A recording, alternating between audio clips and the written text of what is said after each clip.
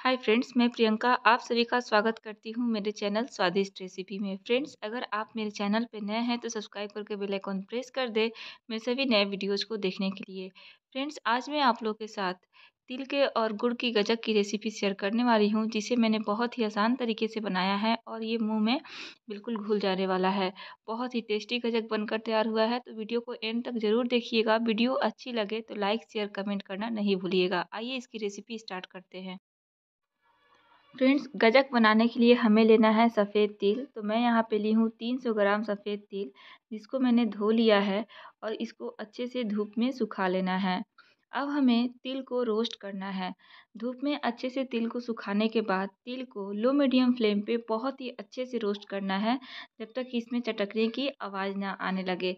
तो कढ़ाई गर्म हो गया है और ध्यान रहे कि जब भी तिल को भूनें तो उस समय मोटे तले के कढ़ाई का यूज़ करें, ताकि तिल हमारा जले नहीं और इक्वली अच्छे से भून जाए। तो फ्रेंड्स, तिल भून गया है। आप देख सकते हैं कि बहुत ही अच्छे से तिल भुना है, बिल्कुल क्रिस्प हो गया है और अब मैं गैस का फ्लेम ऑफ़ कर दूँगी और तिल को दूसरे प्लेट में निकाल कर रख लेंगे। मैंने तिल को निकाल लिया है एक प्लेट में। अब हमने जितना तिल लिया था, उतना ही हमें गुड़ लेना है। तो मैं यहाँ पे एक बाउल तिल ली थी, यानी तीन सौ ग्राम। तो मैं यहाँ पे तीन सौ ग्राम ही गुड़ ले रही हूँ और इसके साथ हम डालेंगे हाफ़ कप पानी। और उसके बाद गुड़ को अच्छे से मेल्ट होने देंगे। हमें गजक के लिए गुड़ का सिरप बिल्कुल परफेक्ट बनाना है। तो मैं यहाँ पे पाँच मिनट तक लो मीडियम फ्लेम पे गुड़ के सिरप को पका ली हूँ और एक बाउल में पानी लेकर थोड़ा सा सिरप को डालेंगे। और ये देखिए, ये जो सिरप है ना, ये बिल्कुल क्रिस्टल फॉर्म में आना चाहिए। ये थोड़ा सा फैल रहा है और उसके बाद जब ये ठंडा होगा ना तो ये टक टक बजेगा पानी में, बाउल में। तो और ये टूटने भी लगेगा, इसका मतलब है कि ये सिरप बनकर हमारा तैयार हो गया है। ये देखिए टूट रहा है। अब हम गैस का फ्लेम ऑफ़ कर देंगे और इसमें धीरे धीरे करके सारे तिल को ऐड कर देंगे जो हमने भून कर रखा था और उसे हम स्टर करते जाएँगे। तिल डालते समय गैस का फ्लेम ऑफ़ कर दें, ताकि हमें तिल डालते समय वो सिरप जो है वो जले नहीं। और साथ में थोड़ा सा इसको और रिच फ्लेवर देने के लिए मैं इसमें डाल दे रही हूँ हाफ़ कप रोस्टेड पीनट यानी मूंगफली।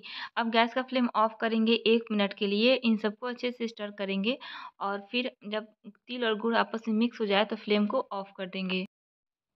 तिल और पीनट गुड़ के साथ अच्छे से मिक्स हो गए हैं। अब एक प्लेट के ऊपर घी लगा देंगे उसके पीछे वाले पार्ट पे और उसके ऊपर इस मिक्सचर को फैला देंगे और एक पापड़ की तरह हम बनाकर तैयार कर लेंगे। प्लेट पर इस मिक्सचर को फैलाने का प्रोसेस बहुत ही फास्ट करना है और जब ये फैल फैल जाएगा तब हम इसे रेस्ट देना है जब तक ये बहुत ही अच्छे से ठंडा हो जाए। अब ये जो पापड़ी है बिल्कुल ठंडी हो गई है तो अब हम इसे निकाल लेंगे और इसे तोड़ लेंगे छोटे छोटे पीसेज में। तिल और गुड़ की पापड़ी को मैंने निकाल कर तोड़ लिया है। अब इसे ग्राइंडर जार में डालेंगे और इसे बिल्कुल बारीक ग्राइंड करेंगे। इसका एक फ़ाइन पाउडर बनाकर हम तैयार कर लेंगे।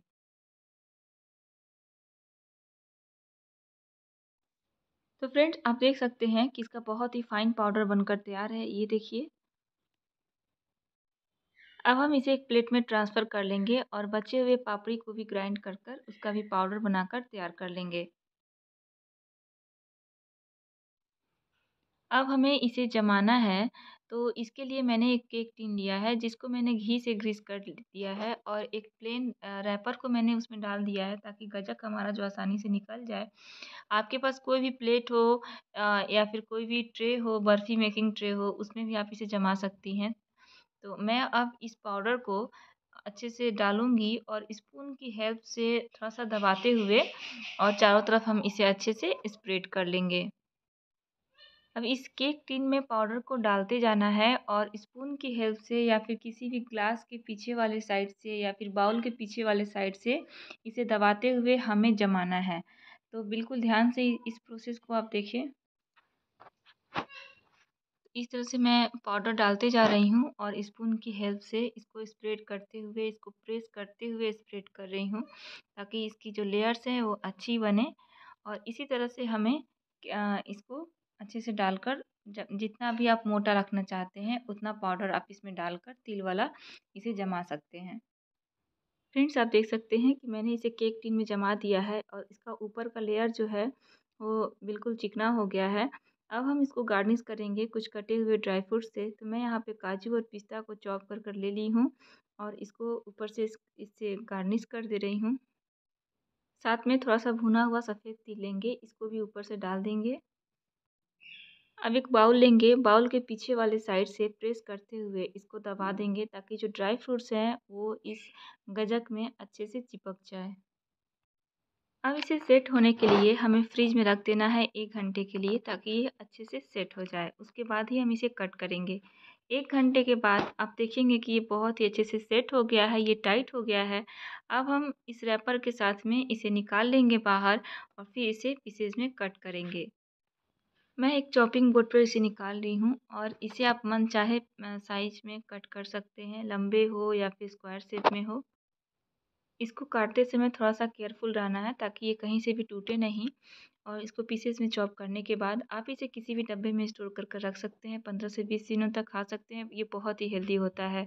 तो फ्रेंड्स, उम्मीद करती हूँ कि तिल के गजक की रेसिपी आपको अच्छी लगी होगी तो प्लीज़ इसे लाइक, शेयर, कमेंट करना नहीं भूलें। चैनल पर नया है तो सब्सक्राइब करके बेल आइकन प्रेस कर दे मेरे सभी नए वीडियोज़ को देखने के लिए।